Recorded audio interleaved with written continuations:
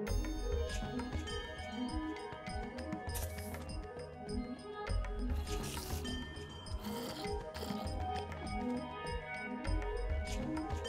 just want to understand.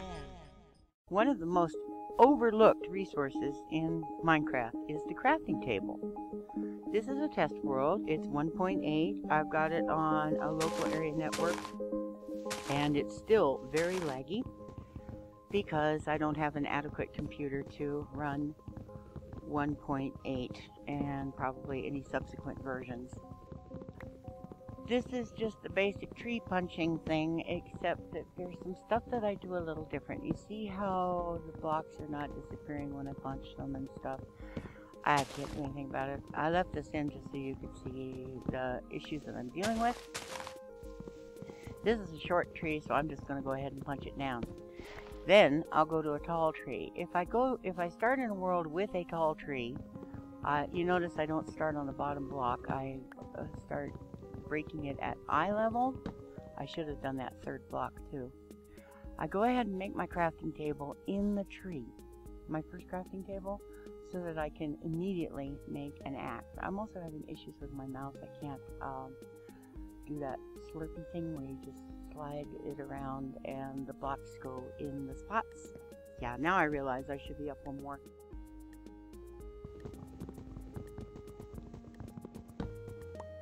So now I can place my crafting table in the tree, which means that I'm a little bit up out of the way of the vision of creepers and even skeletons, which means also that I can go ahead and craft an axe. Now, if my game weren't so slow because of all the lagging issues, uh, this would be very helpful in speed challenges like Brian Lurk on 111's bingo challenges and it would also be very useful in um, UHC because you've already got your crafting table, you've already got your axe, and you're saving yourself some time. These are spruce trees, so I don't have to be too worried about sapling drops and that sort of thing. But I will collect what saplings I can just in case I decide I want to build a tree underground, grow a tree underground. So I'm collecting my wood and I'm climbing my tree and I make sure that I always have a little extra so that I can craft multiple tables. Now right now I'm not going to do that. Right now I'm just going to make my first set of tools out of wood. I only use half the uh, logs that I've got. I only use half the planks to make sticks. So just in case I need charcoal and so that I'll always have some planks in my bar as well as some sticks. Now it's time to start digging to look for cobblestone to make cobble tools. I try to keep my tools in the right place in my um, hotbar so that I can use the number keys and instead of scrolling so that I can use my number keys so that I can get to my my items quickly, my tools and my weapons. Sometimes I forget, but at least they'll always be pretty much in the right place at the beginning of the game, it's kind of hard to do stuff like that because, look, I've got the logs in space 1 and dirt in space 2 and so on. I hear lava down here. I don't know what it means, but it could be good news or it could be awful. So I'm standing away from it, just in case. I don't particularly want those blocks to burn up, but I don't want myself to burn up either. The way I count blocks is instead of trying to memorize how many blocks I need for everything, I just say pickaxe 2, 3, axe 2, 3, shovel 1, sword 1, 2, and um, furnace count to 8.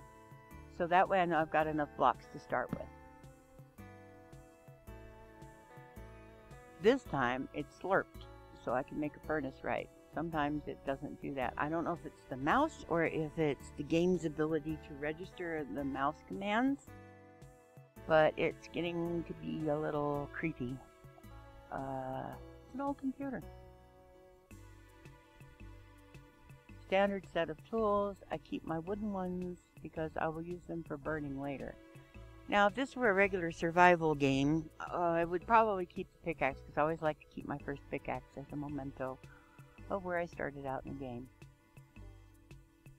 Also because I'm vision impaired, it's difficult for me to see sticks because the numbers are in front of the sticks. So it's hard for me to tell if I've got sticks in my inventory. I should probably find a spot, a spot in my inventory up high where I always keep sticks and another one where I always keep uh, planks. This sounds suspicious to me because I hear lava and there's iron nearby and remember what I said about bait ores? That there are ores in the game that will lead you to things? Uh-huh. And that could have led me right down a cliff. I did pick up that block, but only by luck. So I'm in a ravine, and I got lucky enough to find iron. I don't see any coal to start with. I do have in my inventory enough stuff to make a little bit of charcoal. I'm not ready to deal with that yet because I don't have a darn thing. I don't even have food. I have only stone tools and I don't know what's down there.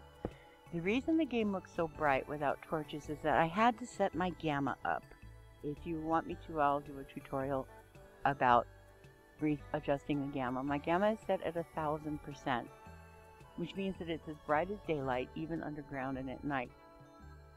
Which is a little tricky because I have to remember to put lighting sources around, and sometimes I forget that. But the game is much darker now in this version. It's a lot more like the old beta 1.7.3. It's a lot darker now, especially the nether. The nether I can almost not navigate at all because I'm vision impaired. I cannot see the nether. And I hear really expert professional Minecraft players who've been playing this game a long time say I only wanted one piece of coal and it picked up two without my permission. I've heard a lot of professional Minecraft players complaining about the darkness and it makes videos almost impossible. I wish Minecraft would finally figure out that there are less players out here who work on YouTube, that YouTube compresses files and that they're much darker than they look when we're recording them. But apparently Minecraft is going to be dark, and so I set my camera up so that I can see and so that it makes a decent YouTube video. In UHC you would never do this, of course, because it gives away your position. Put a torch at the outside of your hidey hole, but I'm going to be going out there in a little bit hunting food, and I'm not playing UHC right now. So I went ahead and put a torch. Otherwise, there are other things you can do to hide your uh, your hole. For instance, things that look more natural. You can put a flower at the entrance to your hole, or uh, uh if you find some of that stone, I, I like the granite because it's pink. It's another. It's also a good way to hide your crafting table, is to put a few blocks of uh, stone around it, so you know it's there, but nobody else does. It just looks like a natural rock formation. My furnace now so that I can, my second furnace so that I can cook food and iron at the same time or whatever, make charcoal and food at the same time, that sort of thing. Usually I make multiple furnaces, but I like to reserve my resources until I've had time to mine enough stuff. I've gone hunting, I found some sheep, and I found some chickens, which is good because I can make arrows as soon as I find gravel. Don't have a bow yet, but that'll come. And then I'm hollowing out a place to put a bed because I did farm some sheep and I have the wool. Now what I didn't do here that I should have done was made it 3 by 3 by 3. I made it 3 wide and I made it 3 long, but I didn't make it 3 tall. Just to make sure that I don't glitch in blocks. The game seems to be having difficulty finding both mobs, hostile and passive mobs, and players. Players are glitching into walls and suffocating to death for no good reason, getting on and off horses. There's problems with portals, uh, being able to enter and exit portals. These are a lot of players. I'm seeing this on a lot. Let's Plays a lot. People are needlessly dying because the game doesn't seem to be able to locate either us or the mobs. So anything you can do to ameliorate that to make it not as bad, yeah, not a dumb plan. So here we go with the bed and setting my spawn point. eat a little food before I sleep. And that's it. The other point is when you have enough wood, make a stack of crafting tables. Always have a stack of them on you so that as you're working you can leave them without having to break them and pick them up. Again, this is very useful in speed challenges and so on. And even UHC, and like I said, you can obscure your crafting table with either a few blocks of dirt or I like that granite because it's bright pink and I can see it easily so I can remember where my crafting table was. Or leave it out in the open to psych out opponents, especially if you go to another location that's nowhere near where you've left your crafting tables. They may come looking for you and of course they won't be able to find you because you're nowhere near the crafting table. Normally my inventory has four of each tool but since we're just starting out, I'm making three of each just so that I can work pretty quickly without having to stop and make more tools. So I make multiples of things.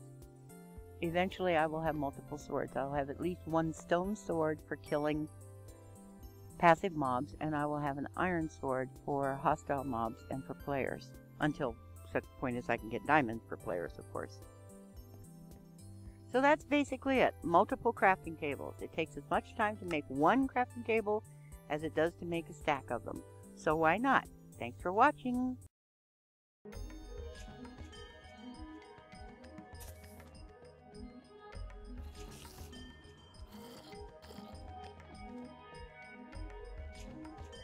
Just want to understand.